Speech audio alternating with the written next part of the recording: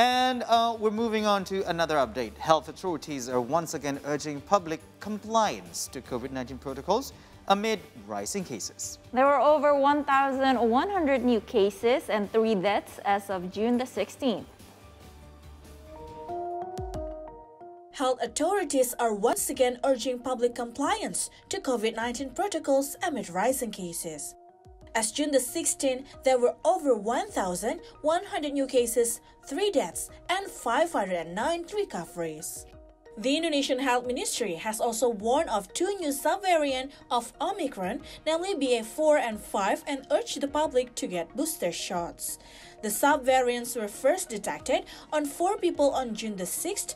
As of June the 12th, infections have spread to 20 people. Kita harus terus berhati-hati dan mempersiapkan diri sebagai antisipasi terhadap kemungkinan makin naiknya jumlah kasus di Indonesia. Karena berkaitan dengan telah terkonfirmasinya virus SARS-CoV-2 varian Omicron subvarian BA.4 dan BA.5 di Indonesia. The government said the transmission not only comes from abroad but also locally.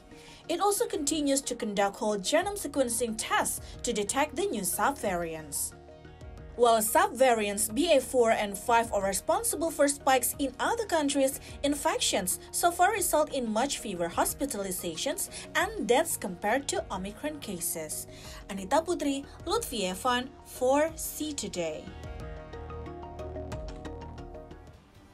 Still from Indonesia, commuter rail operator KAI Commuter Line has started trial operations at the Matraman station earlier today.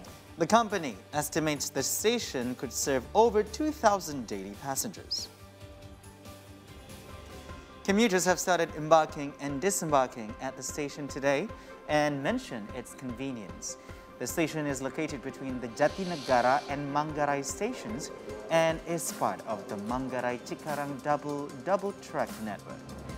KAI Commuter Line also plans to integrate other public transportation services such as the Transjakarta buses to the station.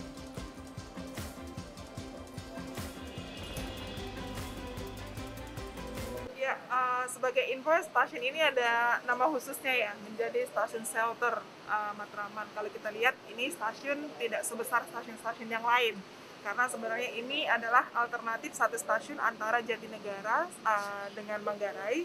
Sehingga uh, ini bagian dari alternatif untuk uh, naik turun penumpang di mana Matraman ini juga juga menjangkau beberapa lokasi yang uh, memang menjadi area kerja ya uh, Kampung Melayu sekitarnya, Senen, Cempaka Putih dan yang lainnya sehingga bisa menjadi alternatif yang akan memang uh, terintegrasi dengan moda yang lain gitu. Jadi kalau pagi ini ini kan hari pertama uh, yang terus kami sosialisasikan baik di announcement di stasiun ataupun di atas KRL uh, pagi ini lebih dari 100 untuk naik turun ya uh, penumpang di sini. Jadi kami memprediksi uh, ketika sosialisasinya terus kami masifkan uh, prediksi kami sehari stasiun ini bisa melayani uh, di atas 2000 harapannya ya. Uh, dengan adanya stasiun shelter uh, Matraman ini bisa sebagai alternatif gitu uh, yang awalnya turun di Jatinegara ataupun Manggarai ini bisa menjadi uh, salah satu alternatif naik turun. Just to get you into context, why commuter line is very important for Jakartans and people uh, on the outskirts area because of the traffic, uh, which is like so bad, quite bad in Jakarta, mm -hmm. and lots of people from the skirt area they're relying on the commuter line. Not only that, but nowadays people prefer to use uh, MRT or yep. uh, Transjakarta buses in this case, not only because of the traffic, but also in accordance to reduce the air pollution.